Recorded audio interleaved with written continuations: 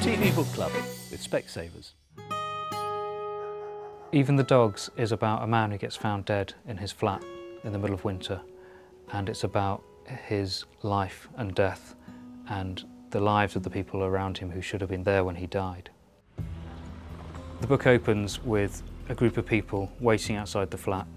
The reader quickly begins to understand that there's something odd about this group of people and who they are and what their status is.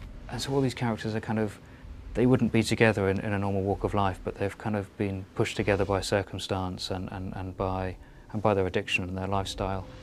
And everyone else in the book is invisible. Effectively, nobody else exists for these characters.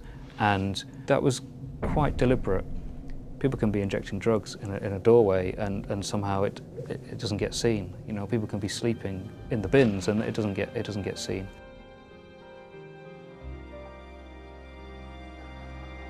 Well, Jon McGregor looks so sweet and studious, doesn't he? You yeah. wouldn't think he'd, he'd have a book a like book Even the, the Dogs in him. in it as well. Because it's harsh. There's appallingly bad language in it, mm -hmm. just in case my grandma's watching. um, and it, it is just down on the streets. It's depressing. It's dirty. It's hopeless. You know, there's no hope in it. I Did you enjoy it? I got into it by reading it out loud. Virgin Trains were happy and, um, and and once I started doing that, because it's there's no little punctuation that you'd expect, and there's no in, there's no speech differentiation in it. Uh, but once I started doing that, it just drew me more and more into it. I think it felt it's really just real. one of the most beautiful books I've ever read.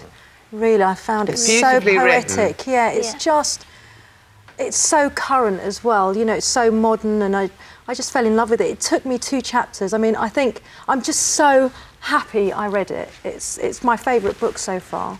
It's meticulously researched as well. I mean, mm. I, I, was a psychiatric nurse and I worked with um, drug addicts for a very long time, and he's actually got their lives completely, perfectly. Do you think this will change a few people's minds? The people that you know, have never thought about the peop- that person in the doorway that's just anonymous. I think it could. I think, it could. I think it could, and I, you know, I do believe sincerely it would make such a powerful film.